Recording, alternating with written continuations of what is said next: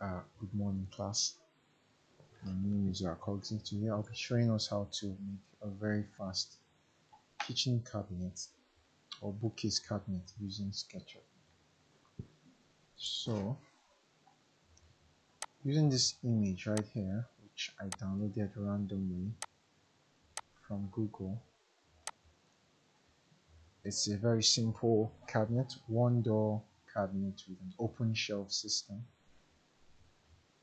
um, throughout this class, we'll be creating a series of cabinetry from kitchens to bookcases to dressers to entertainment centers, etc. And the goal of this class is to be able to make your mail millwork using the simplest of softwares and also transfer it in layout mode such that it can be cut out set for production. So without any further ado, let's jump right into it. So clearly on this picture there are no dimensions but we'll be using the, what is standard.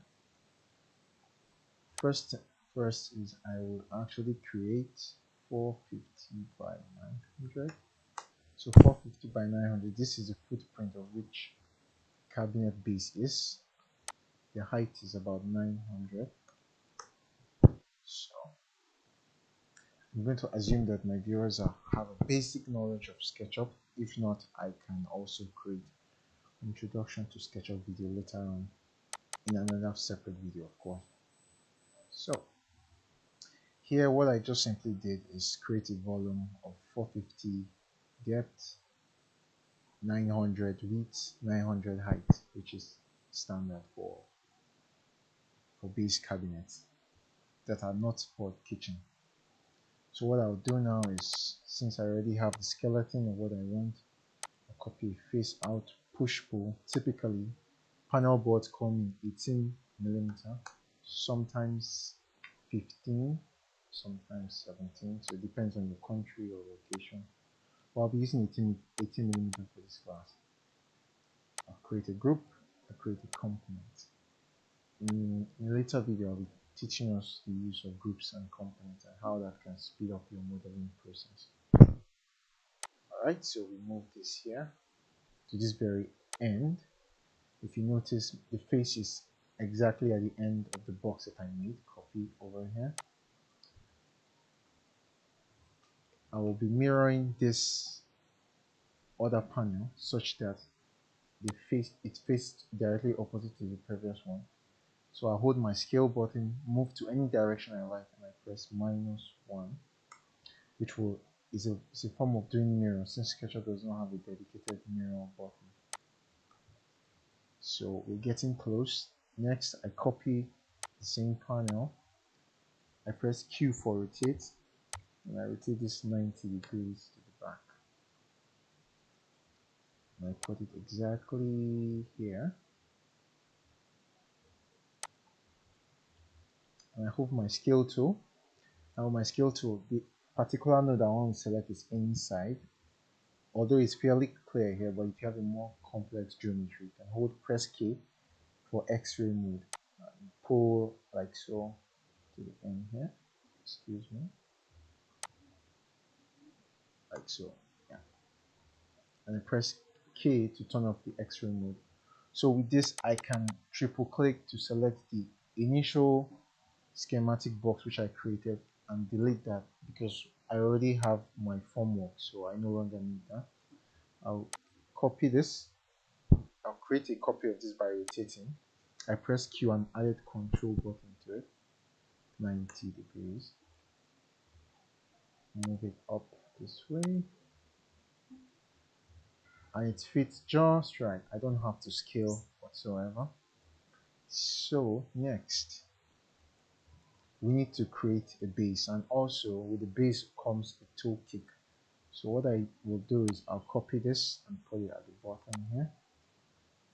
Copy this and increase the height by 100 which is standard for toe kicks click the bottom delete that.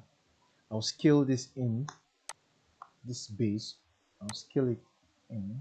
I'll hold a node from the center with my control key active so whether I go to the right affects on the left my snap towards the inner panel.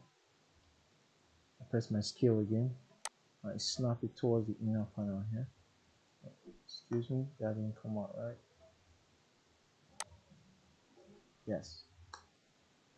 So, we've had the exterior carcasses all set up. So, can see we still have a few steps to take if you're looking at the finished product image we have here. So, I'll go back to SketchUp. We need to create a divider in the middle. I press Q and add Control key for copy. I put my mouse just where it tells me midpoint of component and I come to the base and look for my midpoint. SketchUp automatically snaps to the midpoint for me. So checking, I can see that my panel is flush with my back panel. Just the top is overboard, so I scale down and snap it. I make a copy of this middle divider by pressing Q for rotate and adding control to it. I'll type 90 degrees because I want it to be perpendicular.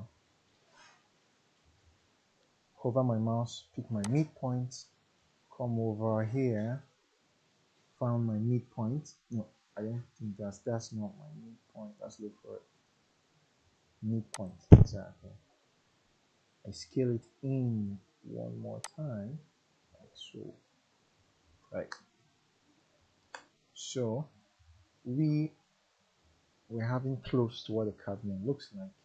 So we copy this shelf and place it here. So we can't leave our toe kick exposed like this. So we'll have to copy. What I'll do is I'll copy the base by rotating and adding control to it. And I'll scale this in like this although there are different ways of styles of which you can apply to the toe kick but what I usually do I don't usually let it flush like this I would move it back by exactly 18 mm exactly the thickness of the panel move it backwards like so click the first one and delete. It just gives gives the work a little bit more detail you know what I mean. So next and finally we need a door. Control I'll add that's this is my rotate function. I'll add my control key to it. 90 degrees copy is all in now let's scale to fit let's let's do scale properly yeah and yes I think we have a very very very close looking cabinet to this. I will delete my scale figurine so that we can just only see the cabinet for now. Now let's go instead of delete, I just hide her instead. So let's go to our material palette. Uh, SketchUp doesn't have quite a lot of textures, but in my next class I'll make sure I'll make sure I have texture palettes that we can play with so for now we'll just apply this around you can also give your work a little bit of character by control let's make unique. We can choose to use a solid color gray board which is very common in you know in the market. We know that what we're showing our clients is something we can actually produce. So for the door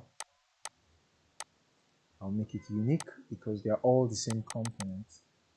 And I'll use this texture that looks this wood veneer texture. So here we have two cabinets single door one one single door and an open shelf system. And with this you have a finished product. We can take this to our layout program 2d program do the appropriate dimension and uh, just go straight to the workshop and you have a finished product like this. So um, if you have any questions just leave in the comments below. I will be making more of this type of content, how to make your millwork product in SketchUp and make it possible that you can actually produce this in a workshop. Thank you very much, Korgzy here. Peace.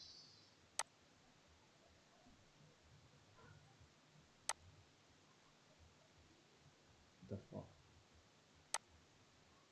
Yeah, okay. Open recorder.